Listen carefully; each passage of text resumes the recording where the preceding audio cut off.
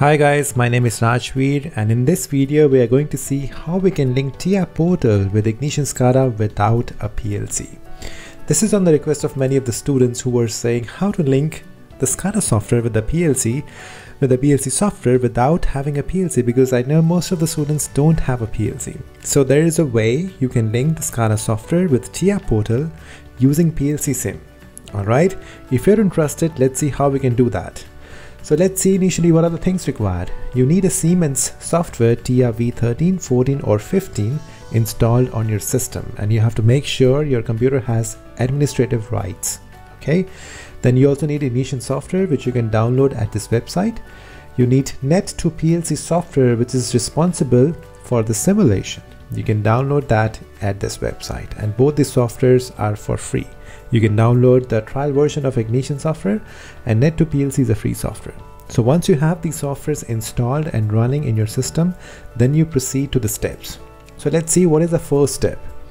The first step is you have to open TIA portal and write an algorithm. Okay. And then you have to configure the security settings of the controller for OPC connection. And you have to start PLC sim and make, make a static, static check. So let's do that. And I will show you once all the steps one by one. So if you see here, I have this my TIA portal and I've made a demo program. This is my bit M0.0, which is giving signal to Q0.0. And this bit I can simulate from here. This is going off and this is going on. So you have to make an algorithm. You can take any controller. I'm using CPU 1212C ACDC relay relay module and I've made this logic and this is running in the simulation. I can show you my simulator is here. So there is no real PLC connected. So that's the IP address of my simulation, which automatically the software assigned. So this is the step one. You have to make sure your simulation is running perfectly fine. Okay, this is the step one. Let's see what are the next step. The step two is you have to install Net2PLC SIM software. You can do that from the link given before and you have to run it and then you have to configure the IP addresses for PLC SIM and network adapter and start the server. So once you install the software, you have to open the file. This is the software. When you download the software, you will get these two directories. Open to the directory bin and then open the software Net2PLC SIM. Okay. Now for that, you have to make sure it's already running. I will close it. So go right click here and run as administrator this is very important otherwise you may not able to perform the simulation so once you run this you will have this window now what we need to do is we have to configure the IP addresses. Now you see here the IP address for PLC simulator is 192.168.0.1 so what you will do here click on add. And here this is the name of PLC you can give any name. This is up to you. I will give Siemens or anything you want. Network IP address. Now this network IP address is the IP address of your network adapter of your computer. Okay I hope you know what is network adapter so you can click on this one and it will automatically tell you the IP addresses of your network adapter so the one which I'm using is this one gigabyte ethernet controller.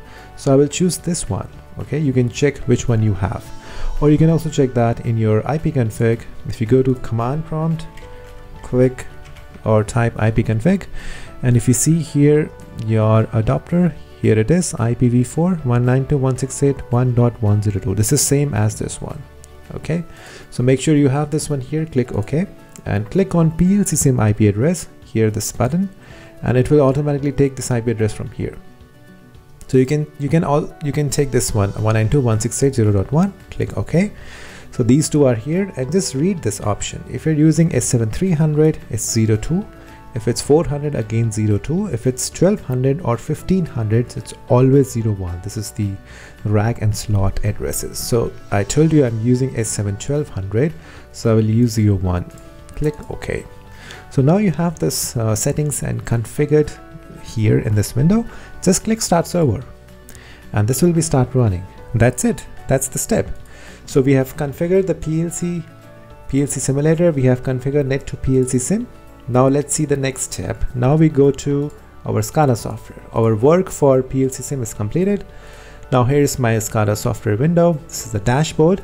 I have to if you have if you did not if you haven't installed this software you can do it for free and then you have to run the software and then you have to open your local host this will automatically assign if your local host is free then you have to configure the device so you go to the configure and you go to here device and here you have to add the device. I will click create new device and I will drag to S71200 here. I click next. And the name of my PLC I would like to give Siemens. And host name is the IP address of now the IP address which will come here. This will come network address not the PLC SIM so the network address will come. So I will type oh, 102 this 102 is already here so click create new device. And here you can see the status. This this is connected. So you have to make sure this is connected okay? And this will be surely connected if this configure configurable settings are okay all right? Now what is the next step? Our ignition is configured. Next steps we have to design a screen and check the connection. So you have to open the designer. I will click launch designer and this will download a file on my window. I can show you here keep. This is a Java file and you have to make sure you have Java software installed in your computer. So the default ID and password is admin username password is password click login. And then you have to show the project. So I have already made a project named test. I will open this one.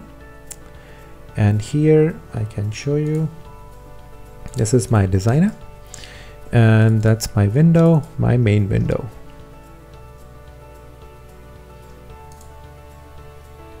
There is another designated located at every home has this resource locked for editing. Oh maybe some problems with the software.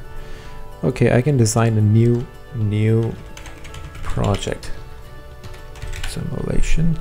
Create new project. Okay so now we have this window main window. This is our main window. I want to make a button which will actuate which will actuate M0.0 because we want to check with the SCADA so just take a button from here from the components to state toggle button.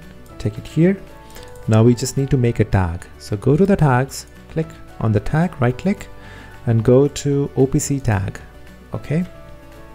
Now I also want to tell you one thing before making a tag you have to make sure your OPC is running here. So if I maximize this if you see this OPC connection you have to click here and you have to make a connection here. If it's not made go to configure and go to the OPC I need to check. OPC server. And wait a second. Here OPC servers. And this should be connected. And if you're if you don't have the server you can create from here. It's, it's not a problem. So this the status should be connected not faulted. And you just click here click next next next and with the default settings you can have a server. All right? I will go back. Now we go to this tag and we'll name it start. Start tag and it's a boolean. You select the OPC server which you just made in the last step and here the path of the PLC tag. So the name of PLC was Siemens. This is the name which I took which I took from here. If you go to your devices that's the name Siemens. So you have to check check what name you have here. So make sure you put that in, in the bracket. And the spit is m0.0 which is mx0.0 x denotes it's a bit it's a boolean bit. Click apply click close and check where's the tag. The tag comes here and this is a good tag which means connection is fine. Just drag it here. Now the tag is connected. I will click on online. So here is my simulation. And here is the bit. There is no PLC just the PLC sim is running. And if I click this one this is not read write. Hold on a second. You have to enable this. Read write connection and the tag should be read write as well and I can click on and you can see this bit is on which actuates my output and it goes off so this is this is working without any PLC. So you can design your SCADA projects here now and you can blink it with your PLC sim and in case if you have factory IO, this becomes more interesting. In case if you have, factory IO, you can actually simulate the environment. I will go to the drivers. Now S7 1200 and 1500, that's the software, that's the PLC hardware. Go to configuration, check the IP addresses, which should be 192.168.1.102. Looks okay. Click connect. So your factory IO is connected without the hardware, but using hardware driver, not PLC sim because now we have simulated the hardware. So go back here and click on play just to make sure I have connected the conveyor I have.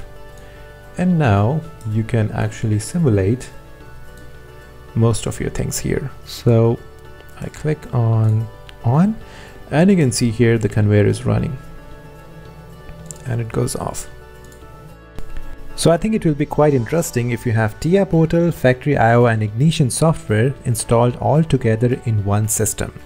In this way, you can design and simulate industrial control system and you can also monitor it on SCADA screen. I think this will be the best option to try. So this was the objective of this video to explain how to link TIA Portal with Ignition SCADA software without real hardware via Net to PLC SIM software. You can subscribe for more interesting videos related to industrial automation. Many more interesting things are coming. So have a nice day. Bye.